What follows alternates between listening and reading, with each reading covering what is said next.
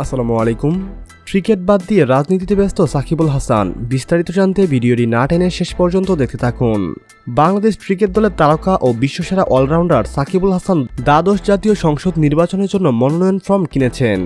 জানা গেছে, আওয়ামী লীগ থেকে তিনি এই ফর্ম কিনেছেন। দ্বাদশ জাতীয় সংসদ নির্বাচনের ঢাকা দশ আসনে আওয়ামী লীগের দলীয় মনোনয়ন ফর্ম কিনেছেন সাকিব। এছাড়াও মাগুরা এক ও দুই আসনের দলীয় ফর্ম সংগ্রহ করেছে তার নামে।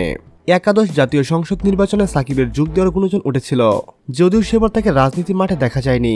তবে জাতীয় দলের আরেক তারকা ক্রিকেটার মার্শাফি বিন মর্তুজা নড়াইল দুই আসন থেকে নির্বাচন করে সংসদ সদস্য হন। এবার লড়াই সাকিবকেও দেখা যাবে।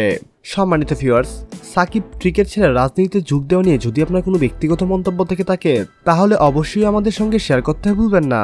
পরবর্তী নিউজের আপডেট সবার আগে পেতে এখনই আমাদের চ্যানেলটি সাবস্ক্রাইব করুন।